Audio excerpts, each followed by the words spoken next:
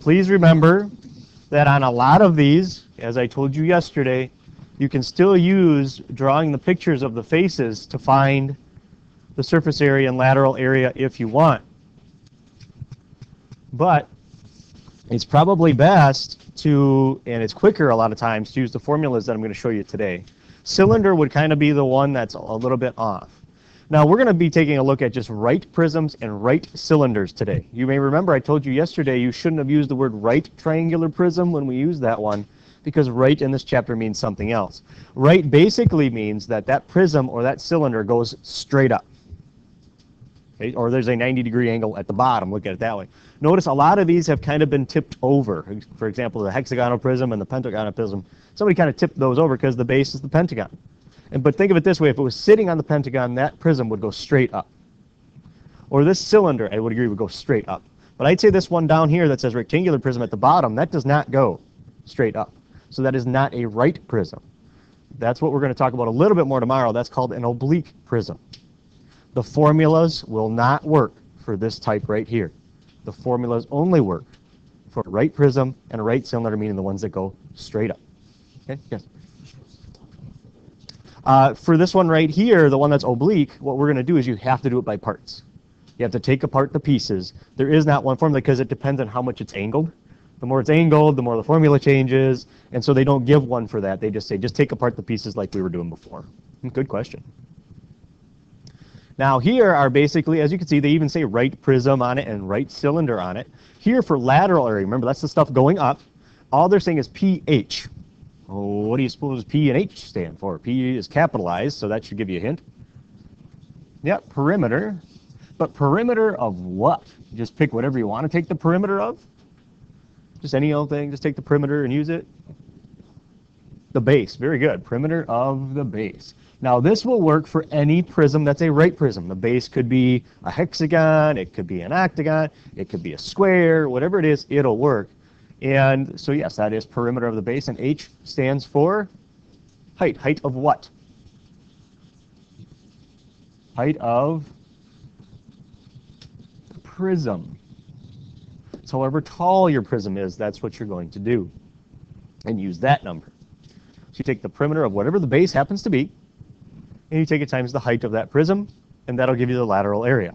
Do you agree that might be a little quicker than drawing out all the faces we did yesterday, doing them separately and then adding them up? Might be a little quicker, but only if you know how to find that information. If you don't, draw out the pictures. You may remember from yesterday we did total area. All we did basically is took the lateral area we already found, and we just added on the stuff that we hadn't talked about. And what hadn't we talked about? The bases. So you see how pH is just pretty much right there? So just take your answer from lateral area and add on 2 times B, and capital B is the area of the base. Now they can't get very specific there because the base could be a pentagon or a decagon or maybe even a rectangle. So we don't really know, and so that's why we have to do that. Now why are we taking it times 2 though? Yeah, because there's two bases. That's why we're taking it times 2. So any questions on where that formula came from or what any of that stands for? Notice I put the abbreviations in there again. And what sometimes will I use for that one? SA for surface area. Yep, so watch out for that. So no questions? All right. Now you may notice, doesn't that formula look the same as the one right there? And isn't this the exact same thing as that? It is. That's because the prism and the cylinder are very similar. They both have two bases that are congruent. But we can get much more specific for the cylinder. Because if you're looking at a cylinder, what do we call the perimeter of the base? What do we call that? Circumference, right? Isn't that what we call that? So let's make that, and is there any way for me to change that to a different object? Isn't it always going to be a circle if I have a cylinder? So for perimeter, we can just say that's circumference, and that's 2 pi r, right? And then times the height. So that's much more specific. Again, I can't do that up here for the prism because I don't know what the base is. You can't do that. Right? So what you can do here then is take perimeter times height, so that's the same thing. 2 pi rh, that's lateral area, and add 2 times the area of the base. Can I make the area of the base much more specific in this case? Because it can only be one thing, it's a circle. How do you find the area of a circle?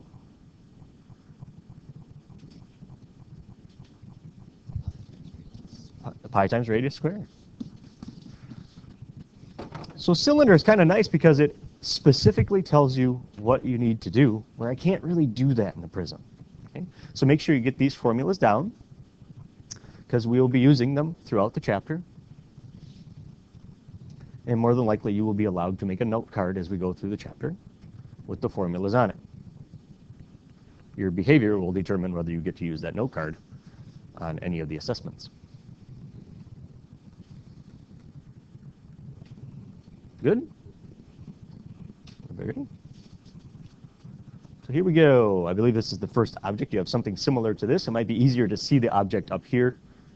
It says determine lateral area and total surface area for the following. So which formula should I use, the right prism or the right cylinder? Well, quite obviously the right prism. And it says for lateral area, to take the perimeter of the base times, what's it taken? Times height. Well, what is the base in this particular prism? What's the name? What's the object? It's a triangle. Very good. So basically, I have to take a look at this triangle right here, which is the base. So this is one that's been knocked over. So let's find the perimeter of that. Is that something we can find right now? I've got six, I've got eight, and then uh, I don't know. You got to find that. Oh, how are we going to find that? Called Pythagorean theorem. Now, does anybody know that one off the top of your head? Yeah, it is 10. So, but let's how to do it. 6 squared plus 8 squared would equal, we'll call it x for now. x squared. How about 6 squared is? 36, very good, plus 64, very good. And what if I add those two? You get 100 equals x squared. Square root is 10. All right. So this measurement here is 10. So is 10 the perimeter of the base? No. 10 is just one of the sides of the base. So what is the perimeter of this base? You take 10 and 6 and 8 and you add them together and we get 24. So perimeter is 24 and that would be just inches because I was just adding inches together. Now if I were to sit this on its base, which is the triangle, how far up would it go? If it's actually sitting on the triangle, it would go up 20 inches. Very good. So now all I have to do to find lateral area is multiply. And 24 times 20 is close. 480 label inches. Again, why is it truly inches squared? Because I took inches times inches. Okay, so there's your lateral area. Am I done with this problem? Found lateral area. Now I have to find total area or the surface area. The formula says for total area to take perimeter times height and add on the two bases, correct? But don't I almost have over half of that already? I mean, we know P times H is already 480 square inches. We already know that. Two, now we have to find the area of the base. So what, now we have to look back to our old chapters to find the area of a triangle. And to find the area of this triangle right here, we would take base times height divided by 2. And base and height have to come together at a right angle. So do we know what those two numbers are? Yes, we do. The two numbers are 8 and 6. So you take 8 times 6 divided by 2 gives you the triangle. 8 times 6 is 48. Divided by 2 is 24. I know some of you with the triangle ones are going to know let's just not divide by 2 because we're going to multiply by 2. Just bear with me. So this 24 goes right here. And that is inches squared, correct? If you take 480, I don't know where that other 8 came from. It's materialized. 480 square inches plus 48 square inches is how many square inches? 528. Does it stay square inches though? Yep. And is it 528? Do we all agree on that? Yep. See how the formula can work. But you also remember from yesterday we did a very similar problem and drawing out the faces worked equally as accurately. But maybe not as quick. They both work.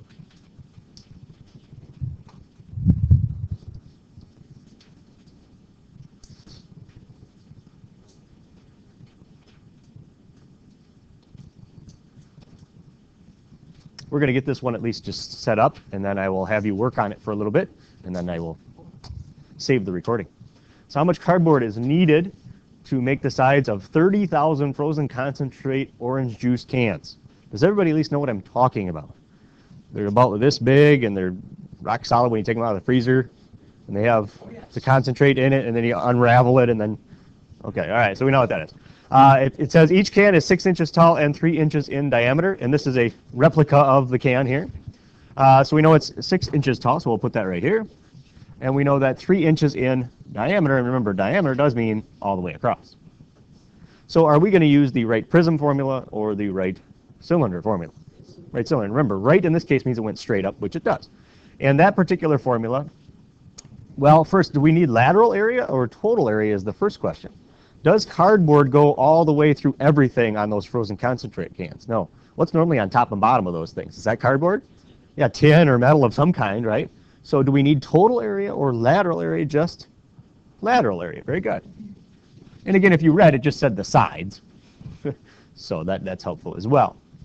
So basically, this stuff in here is all going to be cardboard, where that and that is kind of the metal. Okay.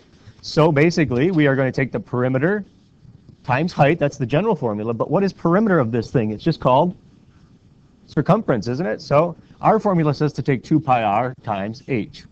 I would like you to try and get that much information down while I save it.